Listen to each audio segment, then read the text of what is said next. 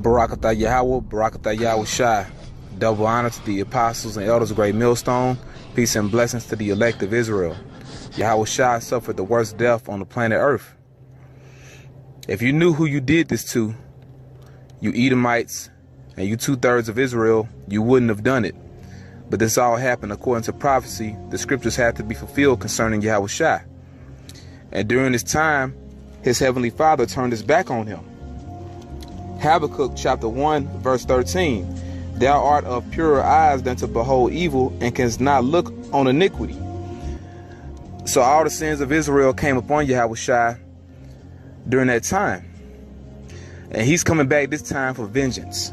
He's coming back for recompense. Because wickedness is all throughout the planet Earth. Isaiah chapter 66, verse 15. For behold,